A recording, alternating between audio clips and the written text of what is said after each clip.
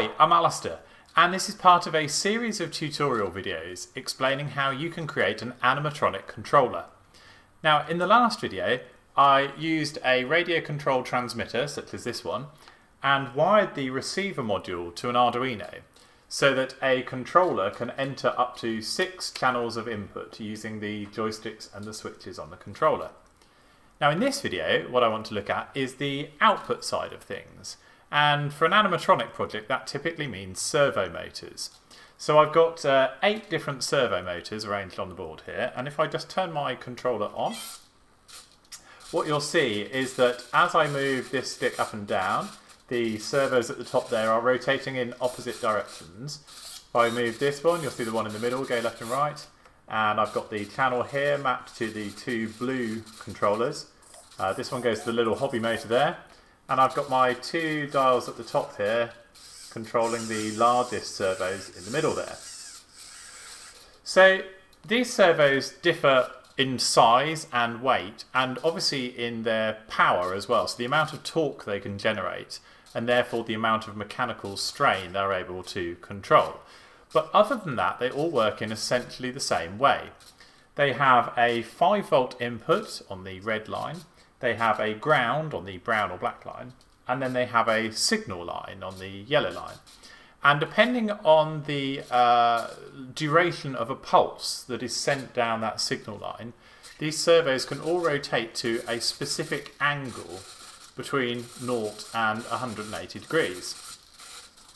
Now, it is possible to uh, control that signal line directly from the GPIO pins on an Arduino. But if you're creating a sort of a complex animatronic project that has um, eyes and mouth and, and lots of different movement, you'll run out of pins quite quickly. So what I'm using here is I'm using a, a little PWM controller board. This is a PCA 9685. And all of my servos are wired into the pins here. This can control up to 16 servos but you can actually daisy chain these modules together to create, um, I think, up to about 995 different servos you can control. So very extendable. But the main thing is that its connection to the Arduino actually only uses four wires, no matter how many servos you're controlling. This is an I2C connection, so it just has a ground, 5 volts, and a data and a clock line. So uh, that's what this component here is. Let me just turn that off. Uh, the other thing to note is that I've got a separate power supply up here. So this is a 5 volt power supply, uh, which is also going into the controller board here. Servos can draw a reasonable amount of current when they're operating. So you wouldn't really want to run them directly off the 5 volt regulator on the Arduino. Have a separate power supply for them, just as you would if you were powering a, a lot of LED light strips or something like that. They'd want a separate power unit. The control signal is sent from the Arduino, but the actual power is coming from here. So here's how the components are wired together. As in my last video, I've got my Arduino wired to the 6 channel receiver with each of these signal lines from the channels going to a separate digital pin from 2 to 7.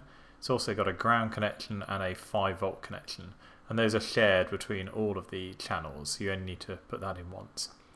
I've also got now a ground line going to this is the PCA 9685 controller board. So this is what's going to control the power to the servo motors.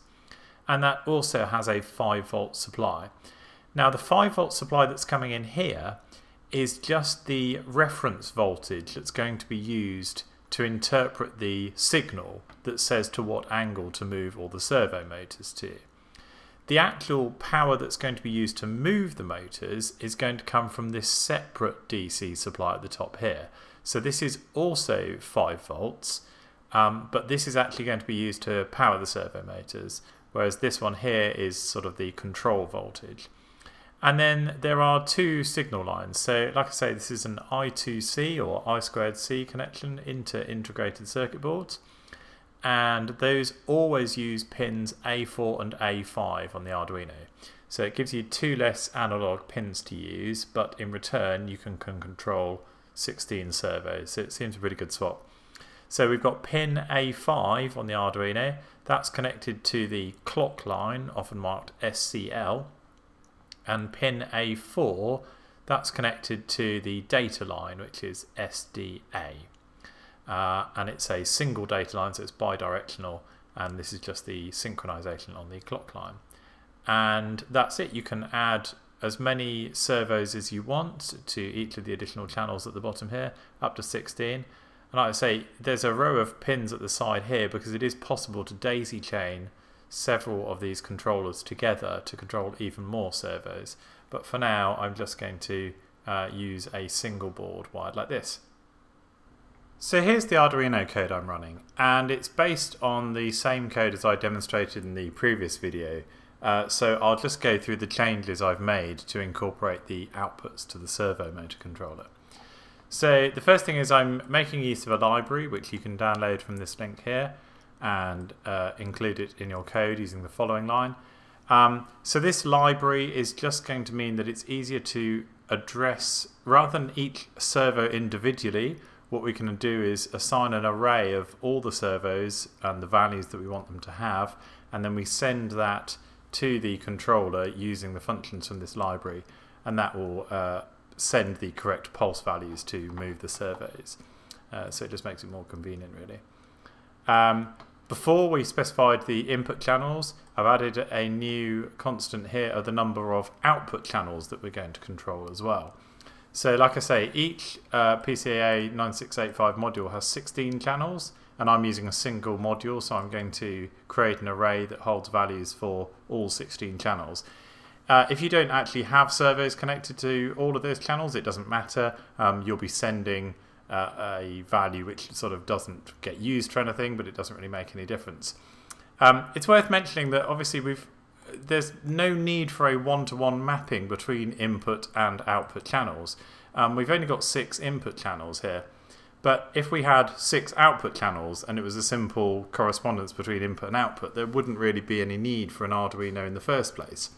Uh, what we're going to do is we're going to apply some logic that will perhaps combine various input channels or do some calculations to determine how the output channels are going to be set. One obvious example of that is uh, an animatronic model that has some degree of symmetry, for example. Um, let's say you have a face and one of the input channels controls how much that face is smiling. Well, the output servos that a smile might need to um, adjust would be the degree of angle of the mouth on the left hand side and the right hand side and perhaps raise the eyebrows or change the angle of the eyes. So there might be, you know, six or eight different servo motors that are output channels which can get controlled based on a single input value, which is the, the amount of smiling that you want to incorporate. Uh, so I'm using 16 here. And then in the global variables section, I've created another array which is going to hold uh, the int value of each of the servo outputs. Uh, we'll create a global object which is going to enable us to address the controller for the servos.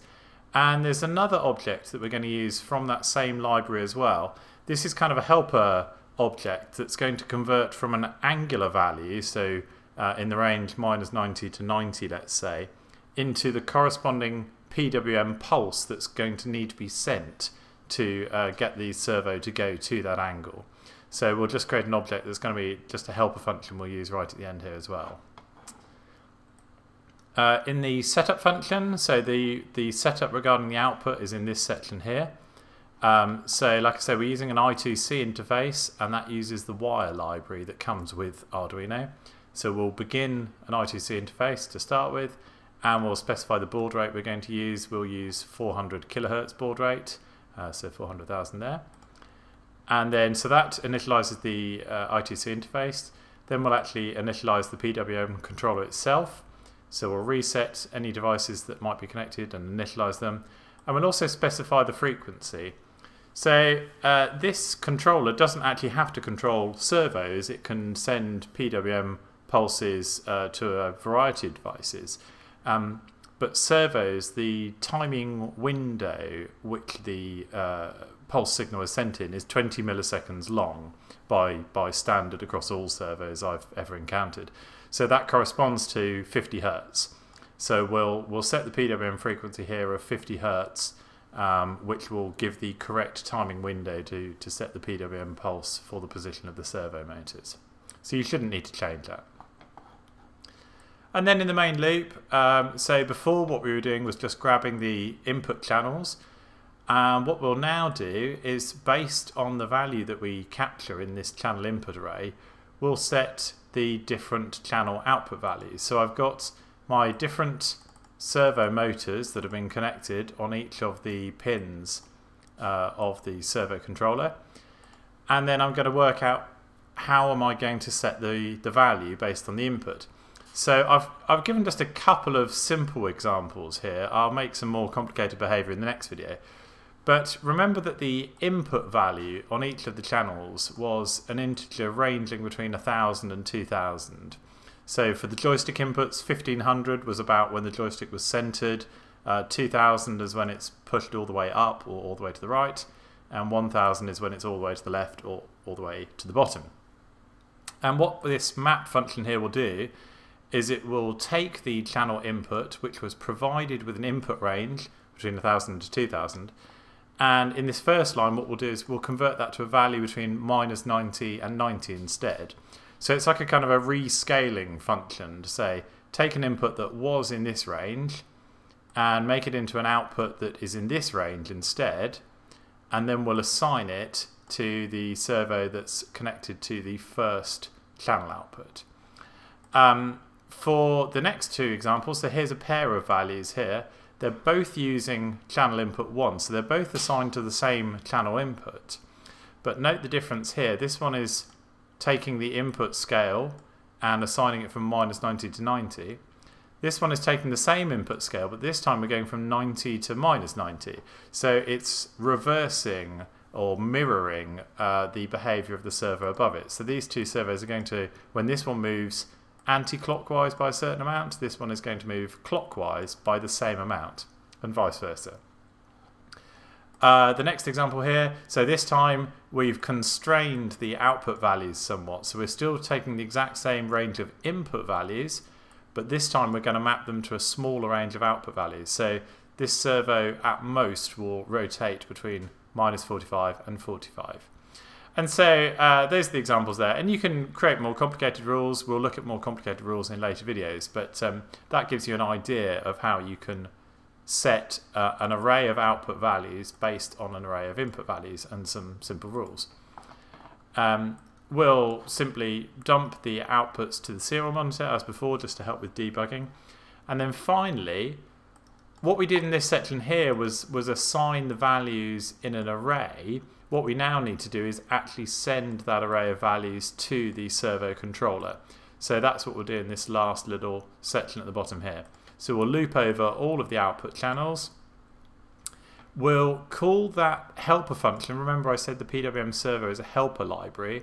So this function here, PWM for angle, will take the angle that we want for this channel which was calculated by the range here based on the input. So we'll take that angle, which is in degrees, we'll convert it to the corresponding PWM pulse value instead, and then we will set that to the channel on the uh, servo controller for that servo.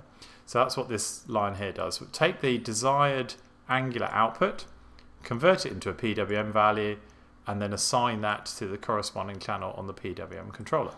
And that's it.